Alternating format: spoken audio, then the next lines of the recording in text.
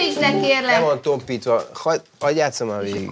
Ez ment óráról órára mindig. Hiszem el, hogy nem lehet két percre itt hagyni veled azt a gyereket. Itt lehet hagyni, hogyha normális. De hogyha az az első mozdulat, hogy üdvözlésképpen fejbe bassza a másikat a széklábbal. Nehogy már ezt is toleráljuk. És akkor kell nyomorítani. Nem tudom, mert megcsinálni.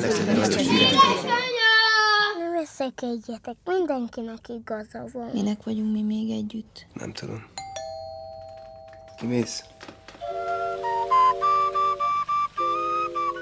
Én nem azt mondtam, hogy tíz évig nem teszem be ebbe az országba a lábam, hanem pont azt mondtam, hogy egy év múlva visszajövünk. Nem ezt mondtad. Azt mondtad, hogy tíz évig nem teszed be az országba a lábadat. Száz százalék tisztán emlékszem.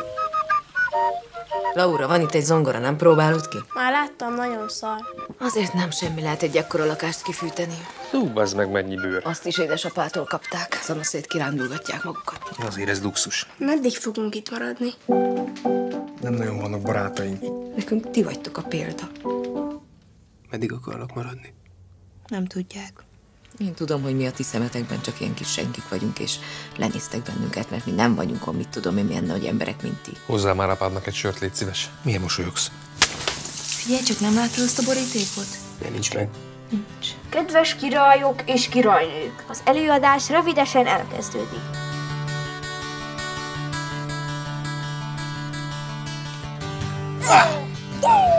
Jön egy ilyen kis 20 éves apakomplexusos kis virgács, és kész.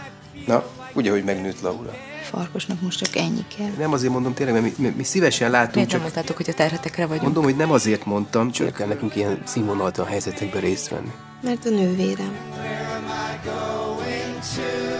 Bruno, mit csináltál? Képmutató kis süli geci. Te hülye vagy? Nagyon megszidott édesapa? Bruno! Nagyon rossz érzésem van.